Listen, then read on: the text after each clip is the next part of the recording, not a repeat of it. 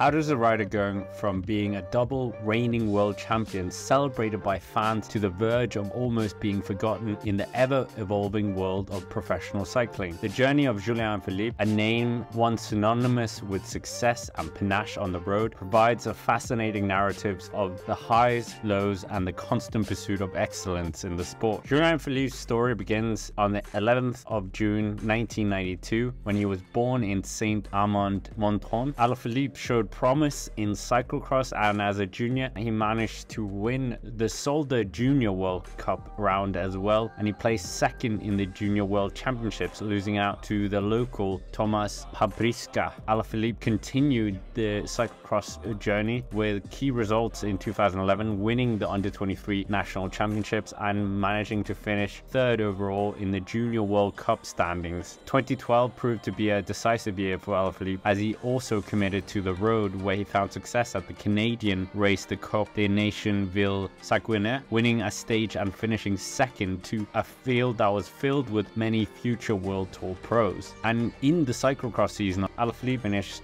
third in the European Championships. Surprisingly, Alaphilippe didn't receive any offers from French teams, so he turned pro in 2013 with the continental team Etixx IHNed as a development team for the World Tour team of Omega Pharma Quickstep. And at this point, he made the decision to focus entirely on road cycling, and it wasn't long before he tested success, as on the fourth stage of the Tour de Bretagne, he took a stage win, and on top of that, even the third stage of a German stage race race. Alaphilippe thereafter went to the Tour de l'Avenir. Here he managed to take a stage win and won the points classification overall. He was selected for the under 23 World Championships in Florence and he managed to launch in the crucial moments of the race an early attack and ended up leading the Tuscan Championships in Florence, which was a perfect fit for his style. But Matej Mohoric, the eventual winner, joined him and then left him behind, and ultimately Alaphilippe finished in ninth place. 2014 saw Alaphilippe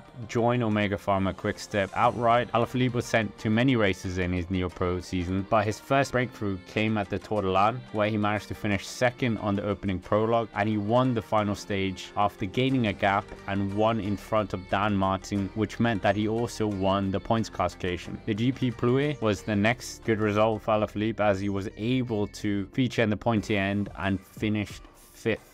In 2015, he went to his first Vuelta a Catalunya and he almost won the sixth stage of Catalunya as well before he finished seventh in the Amstel Gold Race, which was won by his teammate Mikhail Kwiatkowski. A few days later at Flèche Wallonne, on the final ascent up the Mur de Huy, Alaphilippe finished surprisingly second behind the veteran and maestro of the race, Alejandro Valverde, and Alaphilippe even managed to complete his debut of the three races at Liège-Bastogne-Liège, where he once again finished second second only to Valverde. And this was actually the best French performance on La Doyenne since Laurent Jalabert in 1998. Alaphilippe went on to participate in the Tour de Romandie thereafter, finishing on the podium on two stages. And the next challenge for the youngster was the Tour of California. And here Alaphilippe managed to finish third in San Jose before another third place in the time trial. And then he went on to win the Queen stage of that year's Tour of California as well, which concluded on the top of Mount Baldy. Despite that, behind him, the leader, Peter Sagan, managed to just about stay within Alaphilippe in the GC. So it came down to a dramatic conclusion in the race, and Peter Sagan managed to get enough bonus points at the intermediate sprint and in the final, despite Alaphilippe's teammate winning the stage, Mark Cavendish, and thereby it meant that Julian Alaphilippe had to settle for second place and the Young Riders classification. The remainder of the season did not yield the big results, but Alaphilippe was picked for the World Championship in Richmond, but nothing really came of it. After tests upon his return to Europe, he was diagnosed with mononucleosis, which led to him ending his season early. In 2016, Alaphilippe opened the season with the Tour de la Provence. Still suffering from the illness, he did not complete the race. He returned to form for the Ardennes Classic, where he managed to once again finish second in Wallonne, sixth in Amstel Gold. Alaphilippe returned to the Tour of California. He rode very strong on stage 3, taking the win in Santa Barbara.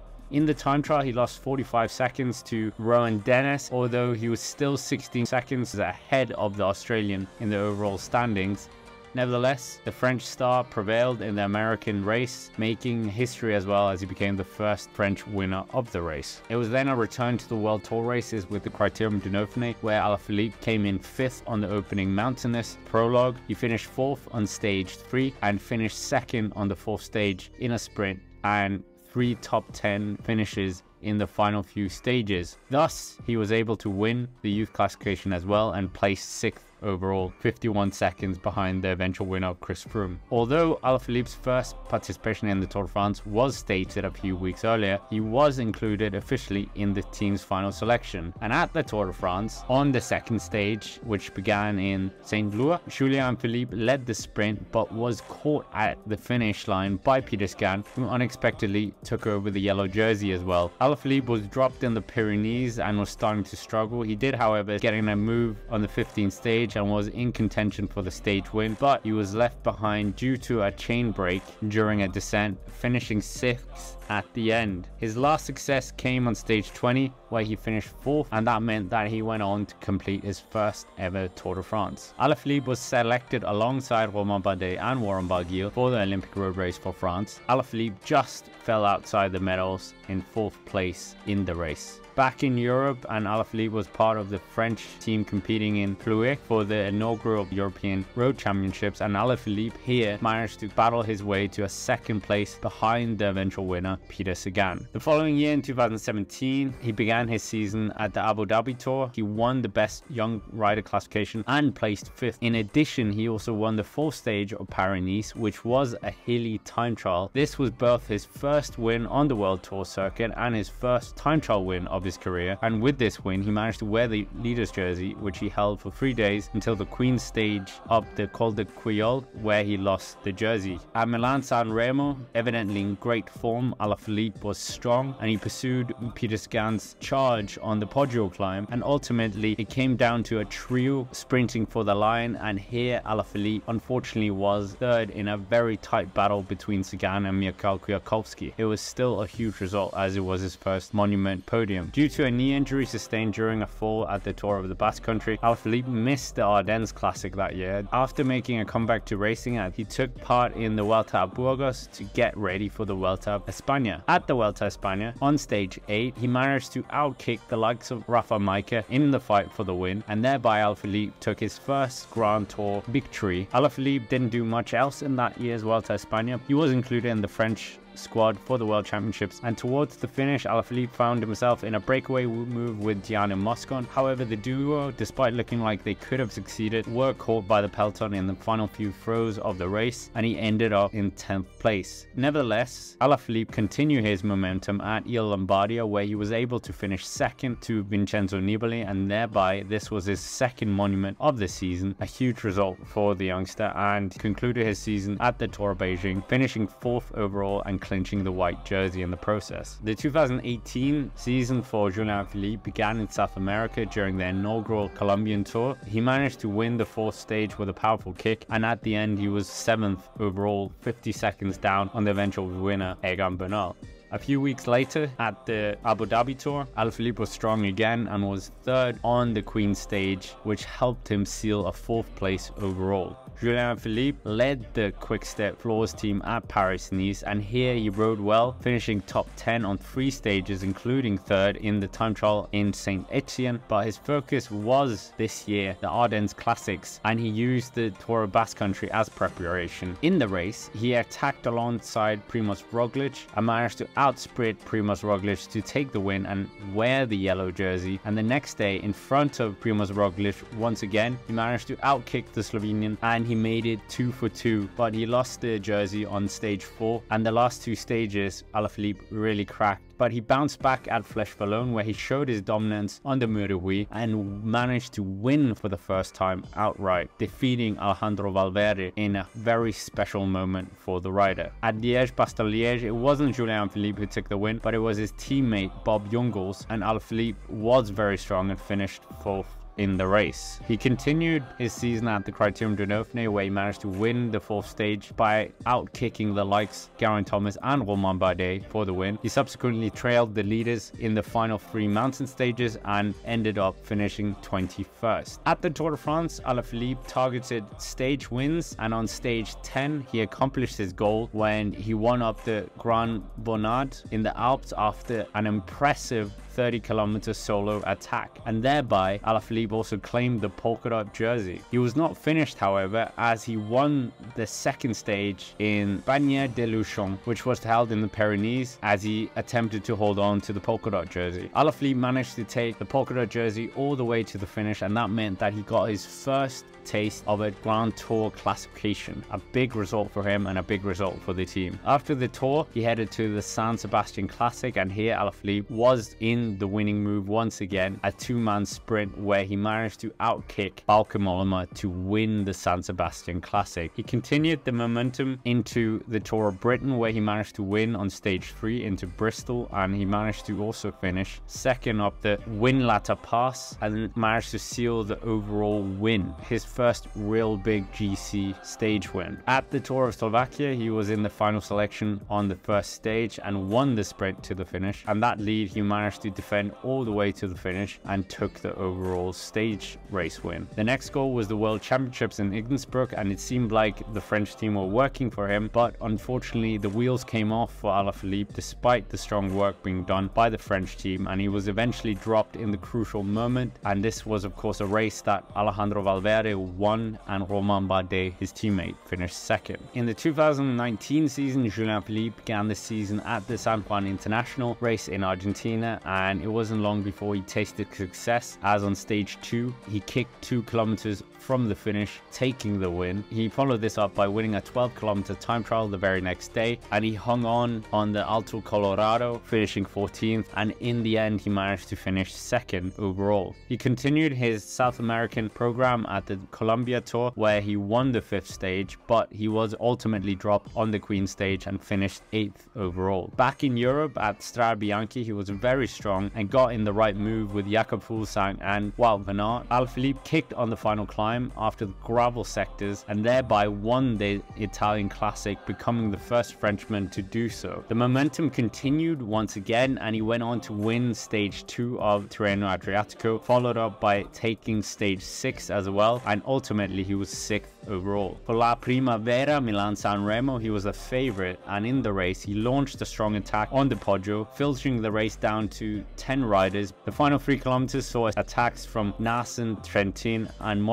But ultimately it came down to a sprint, and Alaphilippe was the strongest and crossed the line first to win Milan San Remo, his first monument of his career and a truly epic moment for the Frenchman. Next up, he went to the Tour of the Basque Country yet again, where he finished fourth in the first time trial and went on to win the sprint. Due to his injuries and the stage weather, he eventually retired the following day after crashing during the third stage. Nevertheless, he was back at the Ardennes and he was a dominant force as he managed to defeat Jakob Fuglsang and Diego Ulissi to win Flèche Wallonne for a second year in a row. At Amstel Gold, he was also away with Jakob Fuglsang, but the pair unfortunately weren't able to do much compared to the Mathieu van der Express that won on the day. Alaphilippe wanted to win Liège-Bastogne-Liège, but on the final climb he cracked and he only finished 16th with Jakob Fuglsang taking the win. The Criterium du Dauphiné was next on the agenda and here he had a disappointing first few stages.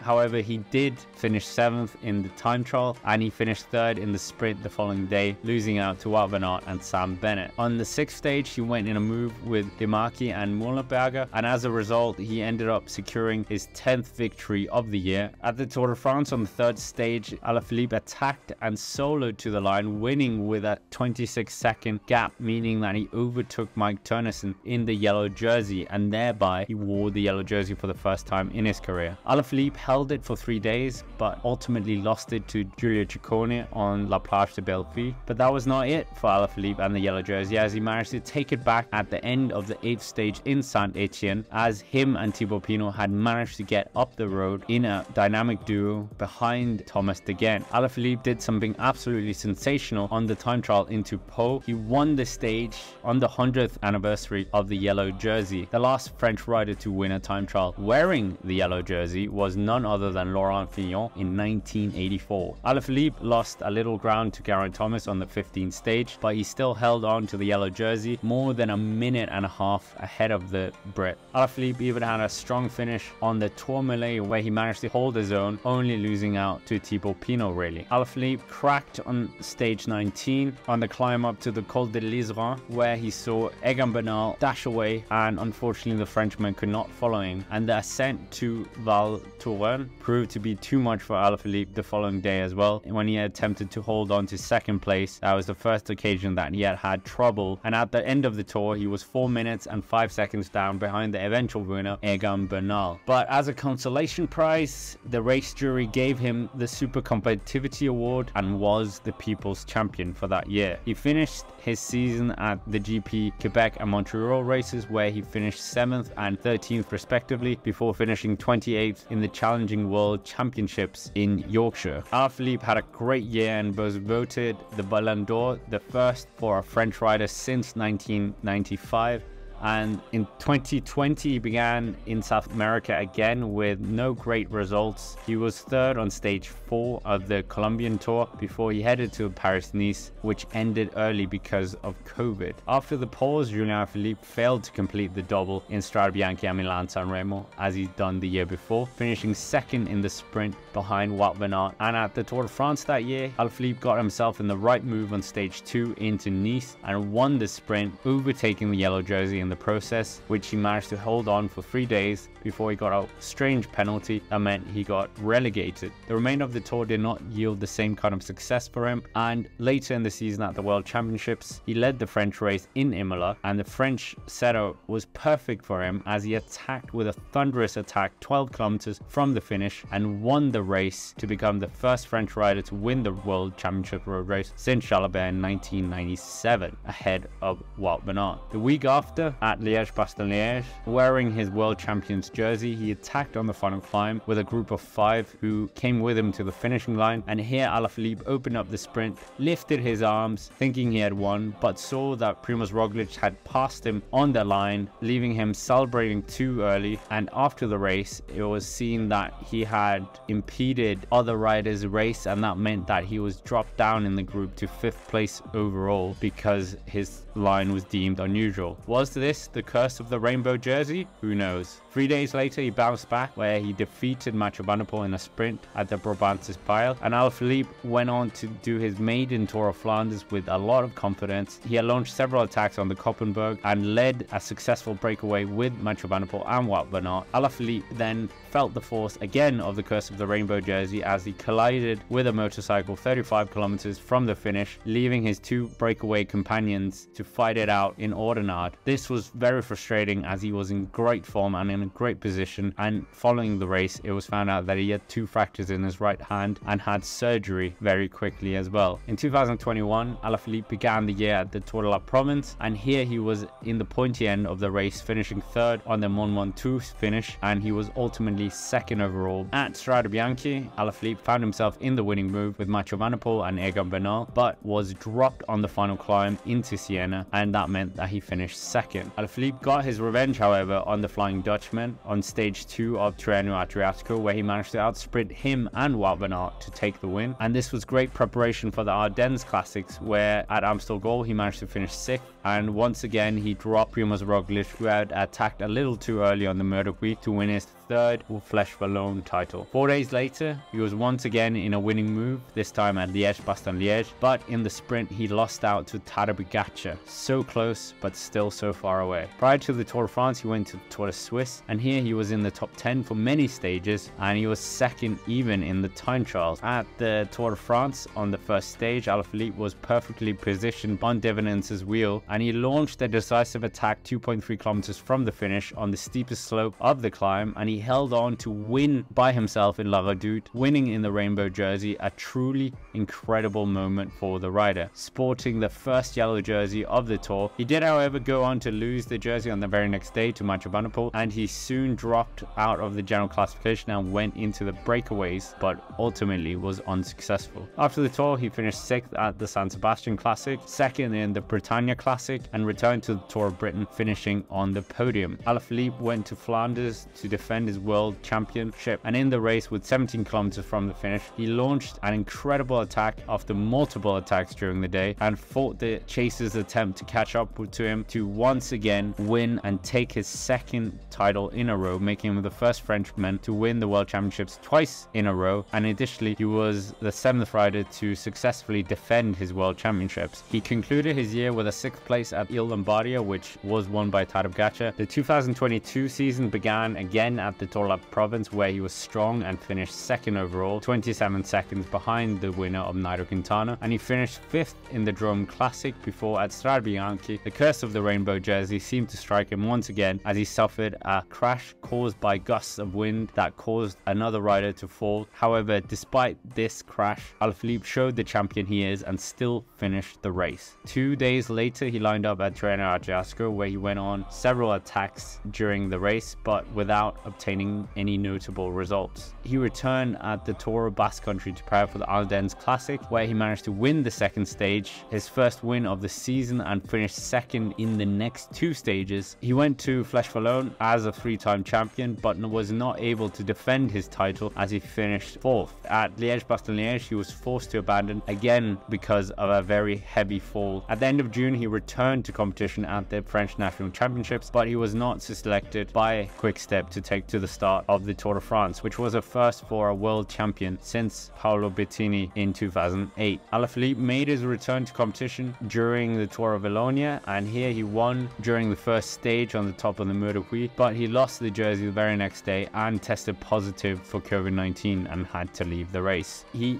again returned in the season at the Vuelta España, where he rode for his teammate Remco Evenepoel. However, Alaphilippe found himself the victim of a crash during the 11th stage and was forced to abandon, suffering from a dislocation of his right shoulder. And he wasn't able to defend his title in Australia, unfortunately finishing 51st. In 2023, there was plenty of criticism by Patrick Lefevere for the results deemed insufficient in 2022. He started his season at the Mallorca Challenge races and then went to the Drôme Classic and even won the Faun-Ardèche Classic in a sprint ahead of David Gaudu. Alaphilippe showed glimpses of his old self as he was second in the fourth stage of the Tirreno Adriatico behind Primoz Roglic and he went on to finish seventh in Milan San Remo. Not feeling well, he retired from E3 and then crashed during the Tour of Flanders where he ended up finishing 51st. He returned to Liège-Bastogne-Liège and worked as a domestique for Remco Evenepoel who ended up winning the race. Alaphilippe resumed his year at Grand Team de Dauphiné where he managed to win on the second stage in a sprint and then took second place on the fifth stage. He was also in the breakaway on the final stage but was not able to hang on to the eventual stage winner of Giulio Ciccone. Alaphilippe was able to cling on to a 10th place overall. At the Tour de France, he was involved in plenty of breakaways but nothing came of it and the last few high points of his year was 9th in GP Quebec and 8th in the Coppa Bernocchi as his real big results. So what happened to Julian Alaphilippe? The French rider once hailed as one of the most exciting talents in the sport has experienced a roller coaster journey that took him from the pinnacle of the sport as world champion to moments of obscurity. His rise to fame was marked by audacious attacks,